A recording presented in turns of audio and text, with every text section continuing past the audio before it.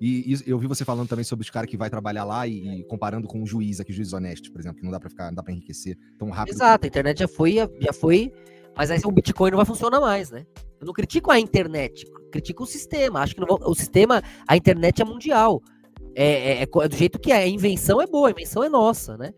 E a gente tem que é, é, criar uma estrutura do nosso reino, pro nosso reino, pelo nosso reino. É isso que eu sempre defendi, né? É o que a China faz lá, é o que a Rússia faz lá, e é o que a cristandade tem que fazer como um todo, e, e preferencialmente no nosso reino, usando recursos minerais que estão na nossa terra, não na deles. Eles que vem, compram, levam para lá. Enquanto os caras conseguem enriquecer é, trabalhando de outras coisas em outras sociedades. Eu, eu encontrei um cara em Boston semana passada e o cara, ele chegou lá, tem três anos, ele, ele tava no Uber, tá dirigindo Uber. É, e hoje ele já tem uma empresa que tem alguns é, carros é. no Uber lá e já tá num patamar completamente diferente do que ele tava aqui. Eu fiz um podcast que tiver interesse em pesquisa com um cara chamado Mr. Coelho de Boston. Ele foi com 17 anos, com a mãe e o pai morreu, eles não tinham como sobreviver em Valadares, né? Pegaram as porras dele e foram pra lá. Ele demonstrou lá, ele começou a explicar aí, sistematicamente é. como é que ele chegou a ter mais de 2 milhões de dólares com menos de 30 anos. Alguns juiz honestos. Esse, esse vídeo. Leu, esse, esse, algum juiz honesto consegue ter 2 milhões de dólares com menos de 30 anos. Nem dá pra. Ele com quase. Ele precisa ele, ter. É um milagre se ele virar juiz, né? É, algum médico honesto. Anos, é. se, com 30 anos o cara nem terminou as residências pra ganhar dinheiro direito, não é isso ou não? É verdade. Pois é. E ele se legalizou. Rapaz, as aventuras dele agora, o Mr. Coelho, procura aí no negócio. Ele entrou no negócio de uma. Ele gastou 10 mil dólares numa agência de casamento, né? Você viu? Foi dar uma de. Como o nome de mamãe falou, quem quiser ler. casamento. Se 10 anos mesmo, você tá com imã inteiro, você tá com todas as doenças venéreas. Ah. Aí foi lá conhecer as noivas dele pra escolher agora que vai casar. Diz que já comeu umas 6 ou 7. Foi na Bielorrússia, Polônia, Ucrânia. Agora, é o nome do cara que fez o nome do Tour de Blonde, não é isso? Agora o cara tá falando pra lascar no Tour de Blonde, Mr. Coelho. O cara é lascador. O quê? Você vai casar com. Se esse maluco cheirar, ele explode, né? Porque ele já é assim naturalmente. Se ele cheirar, ele puf, explode. é. E ele, ele tem, alguma, tem uma questão sexual ali que eu não sei se ele administra bem, mas ele tem uma necessidade para abastecer essa, essa velocidade até. E é isso aí que faz ele ficar nesse, nesse paradigma uma, tá escolhendo, fazendo um test drive, não é isso ou não? Você já comprou um carro sem test drive? Olha, tu, cons tu considera isso moral? Rapaz, eu considero isso moral, né? Mas a moral dele não é a mesma minha, não é isso? Hein? Mas tu percebe quando você fala desse jeito e parece que tu considera isso moral? Não. Boa, ô, caralho, o Igor tá muito bom nessa, velho. Fazia tempo que eu não gostava do Igor. caralho e, comparando com o juiz aqui, juízes honestos, por exemplo, não dá para ficar, não dá para enriquecer tão rápido quanto os caras conseguem enriquecer é, trabalhando de outras coisas em outras sociedades. Eu, eu encontrei um cara em Boston Tem semana passada. muito louco, e né? o cara ele distorceu a mente no tempo anos, polícia, ele, ele tava no Uber. Tá Ao mesmo tempo que ele é super moralista e cristão, ele é espertão que mete louco em tudo que dá. Porra. Mas isso é meio que o, o Olo Pensene ali, a, a, o coletivo do, do, dos polícias, não é? Eu não sei, né? Mas faça assinar igual nós, igual o Lúcifer a, a aceitar que tem esse poder e não faz porque é Deus que manda. É, é, eles têm um código moral meio distorcido, porque eles. O, o país tem meio que uma lei muito estranha, então eles. Em muitos casos ele é policial e juiz ao mesmo tempo. Ele decide ali, igual aquele filme famoso é. do juiz. Aí acho que meio que dá, algum, é, dá algum bug na cabeça deles. Tipo, é muito poder e pouca é. preparação, né? Pode ser. De. É, e hoje ele já tem uma empresa que tem alguns carros no Uber lá e já tá num patamar completamente diferente do que ele tava aqui. Eu fiz um podcast que tiver interesse em pesquisa com um cara chamado Mr. Coelho de Boston. Ele foi com 17 anos com a mãe, o pai morreu, eles não tinham como sobreviver em Valadares, né? Pegaram as porras dele e foram pra lá. Ele demonstrou lá, ele começou a explicar sistematicamente como é que ele chegou a ter mais de 2 milhões de dólares com menos de 30 anos. Algum juiz honesto. foi esse, esse vídeo que eu vi. Esse, algum juiz honesto consegue ter 2 milhões de dólares com menos de 30 anos? Nem dá pra. Ele com quase. Ele precisa ele, ter. É um milagre se ele virar juiz, né? É, algum médico honesto. Anos, é. Se com 30 anos o cara nem terminou as residências pra ganhar dinheiro direito, não é isso ou não? É verdade. Pois é. E ele se legalizou. Apesar das aventuras dele agora, o Mr. Coelho, procura aí no negócio. Ele entrou no negócio de uma. Ele gastou 10 mil dólares numa agência de casamento, né? Você viu? Foi dar uma de. Como é o nome de mamãe falei. O cara entrou na agência de casamento. É. Diz que dá exame mesmo, você tá com imã inteiro, você tá com todas essas. Ao mesmo tempo que ele admira a moralidade, ele admira a inteligência. Então ele fica nesse paradoxo. Venérias. Ah. Aí foi lá conhecer as noivas dele pra escolher agora que vai casar. Diz que já comeu umas seis ou sete. Foi na Bielorrússia, Polônia, Ucrânia. Agora, é o nome do cara que fez o nome do Tour de Blonde, não é isso? Agora o cara tá falando pra lascar. Tem que admirar Cristo, que é inteligente e moral. Cara no Tour de Blonde, Mr. Coelho, o cara é passador. Okay? Diz que vai casar com uma, tá escolhendo, fazendo test drive, não é isso ou não? Você já comprou um carro sem test drive? Olha, tu, cons tu considera isso moral? Mas eu considero isso moral, né? Mas a moral dele não é a mesma minha, não é isso? Hein? Mas tu percebe quando você fala desse jeito e parece que tu considera isso moral? Não, eu não considero isso moral, eu considero isso engraçado. Ele é um cara que conseguiu uma quantidade de dinheiro absurda pra quantidade de idade dele, né? Nenhum homem é homem é antes dos 30. Jesus é muito claro quanto a isso. Jesus não precisava ser batizado. O cara não é homem antes dos 30. Ele, ele é um menino, velho. Ele não tá se comportando como homem, não é isso?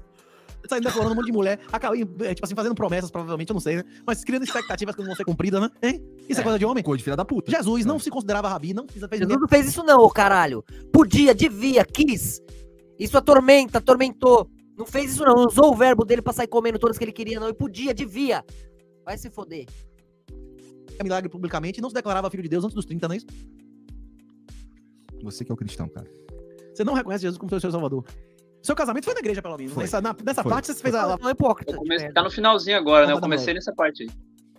Eu nem lembro se a Mariana queria casar na igreja, cara. Acho que ela queria. Quando de gentalha não acredita em Cristo, não acredita no casamento, não acredita na, na Torá, não acredita no, no, na mulher servir ao homem, entregar seus desejos ao homem, o homem trabalhar pela mulher, proteger a mulher. Não acredita em nada, mas quer casar na igreja. Gentalha escrota do cacete. Ué, quer casar então, aqui por quê? Foi aí que o Igor começou a me irritar muito nessa, nessa entrevista. Foder, meu.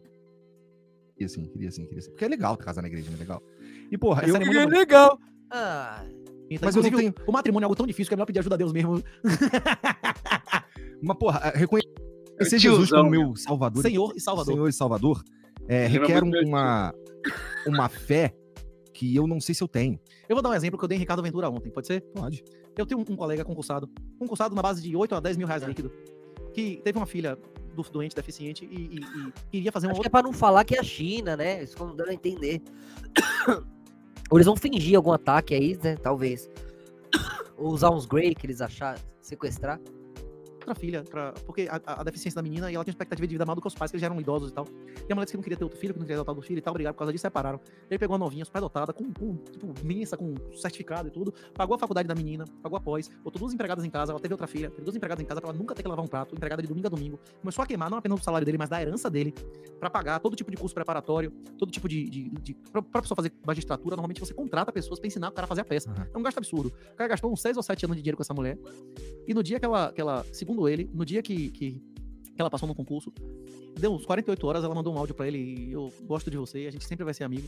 Mas se eu ouvir a sua voz, eu fico seca. Cara, meu Deus, nunca mais tem que tocar em mim. Sumiu. no apartamento pra dar entrada no apartamento no estado onde eu vou morar com minha filha. Essa filha vai considerar ele como pai, sem ver ele sistematicamente convivendo com outro macho. Essa filha vai cuidar da outra irmã, que ela não vai nem conviver.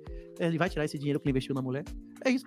É, mas aí ele também achou a pessoa errada, foi trouxa, né, cara? É isso. Só existe Ó, casamento, só existe casamento, anos, só existe casamento real. Ah. Só existe casamento real quando as pessoas reconhecem que é um casamento bíblico. O casamento desse governo é o casamento do BBB, que uma pessoa vai na justiça e a outra sem ser citada não tá mais casada. Jesus disse que existia divórcio ou que não existia divórcio. Jesus é claro que não existe divórcio. E no Antigo Testamento o divórcio só existia se houvesse causa e ela fosse apurada por um juiz e quem deu causa ia pagar, não é isso? Se existe divórcio, Jesus tinha devolvido Maria Madalena e as mulheres tudo pros maridos dela, caralho. É, cuidado com o que o apóstolo fala na hora que tem que falar para não, não se foder. E cuidado com o que Cristo falou. Porra, não é, não é assim também que funciona, né? Ele tava ali cheio de divorciada, foragida, fugitiva, kenga. Ué, não existe divórcio, então ele devolver elas pros maridos, caralho. Mas continue, sua esposa nunca faria isso. Porque a gente, a gente já, já tá num nível de. Bom, já estamos já juntos há 20 anos. É... Ele tava 7, né? Hã? Ele tava 7. Ele também dizia que isso nunca ia acontecer com ele. Eu posso dar 10 casos de gente da polícia aqui que pagou faculdade a mulher, que ela era maravilhosa e tudo mais, de tudo de bom, e na hora que ela não precisava mais do cara, ela diz assim: Eu simplesmente não admiro mais você. Eu gosto de você, eu não gosto de Mas eu concordo com ele. O ponto que ele quer chegar é: caraca, você tá na hora que chega no ponto ruim, você quer, quer terminar porque o cara tá com pouco dinheiro? Tá ligado? É o que acontece, vai se foder, né? Também. É, é, aí, aí é errado. Você, mas quando eu ouço sua voz eu fico seca. Pronto. É o que importa é ser feliz ou ser boa. Ela tem a obrigação de dar contra a vontade dela, sim ou não? Pois é. Aí você decide se você serve a Deus ou se você serve a Satanás, né? Mas aí você tá. Se sua mulher parasse de ficar molhada, dissesse, eu não fico mais. Quando eu ouço sua voz, eu fico seca. Ah. ah. Ela, ela tem a obrigação de, de continuar com você? Nenhuma. Tem sim. Tem nada. É, então, pronto. É, como é que chama? Você deu sorte porque você continuou tendo renda e, e, podendo, e podendo prover, prover pra, o suficiente pra. É, ela vai se guiar pelo tesão dela, então. Ela construiu uma família, um filho, às vezes uma empresa, pessoas ali, uma circunstância é, é, de vida, né? Que envolve tanta gente, tanta coisa. Ah, não, mas eu quero tesão. Eu me, eu me movo pelo tesão. Eu tenho que estar com tesão. Se eu não tiver com tesão. Então, quando chegar a menopausa, quando chegar o, o, o ponto da velhice, vai ter tesão ainda, mas seu corpo não vai responder mais igual, não vai lubrificar igual, aí você morreu, então. Você não vai entrar no reino onde a gente resolve isso. No nosso reino, a gente cura tudo isso. Você vai ser jovem para sempre. Quem? Quem entendeu o tempo, quem fez bom uso do tempo. Não parasitas. Tu vai prender a mulher contigo pra sempre, só porque ela não quer sei lá. É, porque ninguém... você não quer que ela. É, existem causas no Antigo Testamento do divórcio. Você não quer que ela saia dando pra, por aí e se mova, se mova, sacrifique, sacrifique crianças, abortando ou abandonando, porque ela quer ter prazer sexual, que ela quer ter alegria, que ela é um parasita. Foda-se a, a, a, o bom senso, foda-se a dignidade, Foda-se saúde, a educação, a alegria daquela criança que eu fiz, porque eu tive tesão, abri minhas pernas porque eu quis, nasceu aquela criança. Agora não vou focar em criá-la, não. Vou focar na minha xota, vou focar em ter tesão transando por aí. Caralho, só por isso. Ah. Isso é discutível, né? As civilizações, nunca houve uma civilização que não tivesse colapsado com um divórcio sem culpa. É, isso é uma das coisas que destrói. A maioria das famílias são desestruturadas por causa disso. É, o problema não é existir divórcio. Existiram civilizações milenares, como os muçulmanos e os judeus, que existe divórcio. Só que não, nunca aconteceu uma sociedade que existisse por mais de 100 anos com, com divórcio sem culpa e sem penalidade do culpado. Se acontecer isso. Verdade, é verdade. Se você começar a deixar. Aí qualquer... sim, eu concordo. Isso Cristo concordaria. Agora, se falar que Cristo falou, não, sua mulher te faz de corno, de otário, de trouxa, você não pode divorciar, não. Vá merda, caralho. E vice-versa também. Seu marido te comprou, aí te usa, te bate, te espanca, te, é, é, é, te trai, te humilha também. Você vai ser obrigado aí a. Não, Cristo libertou nesse sentido, aí sim. Qualquer um se separar e se beneficiar com o comportamento oportunista, porque é colapso societal, que é o que a gente tá vivendo. Pô, então tá falando que uma pessoa de, vamos lá, casou com 30, tá bom?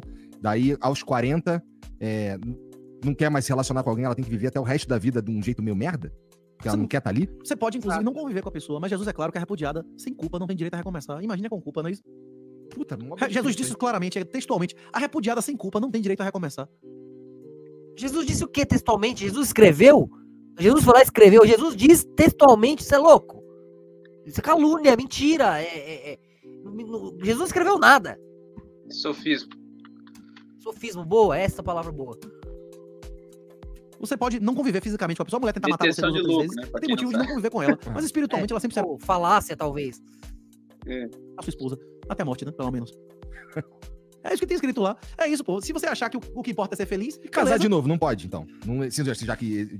Quem falou foram certos apóstolos em determinados momentos, por determinadas razões. Se morrer, não pode. Tá. O viúvo tem direito a recomeçar, né?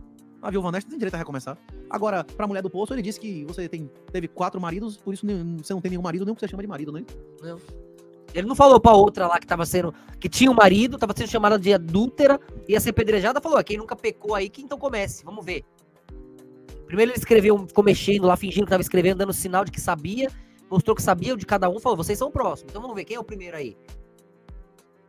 Porra, cadê a misericórdia? Vocês se atropelam, se refutam. Jesus não estava falando de uma sociedade da época dele e a gente está literalmente dois mil anos depois? Não, a Bíblia que ele leu, Jesus falou: não, você é puta aí, você traiu seu marido velho, é, é, você saiu correndo aí porque ele te, te, abusava, não gostava dele, agora você vai voltar para lá, vai apanhar, vai morrer na pedrada. É, é, a Bíblia que eles leram foi assim. Que não tem segunda chance, não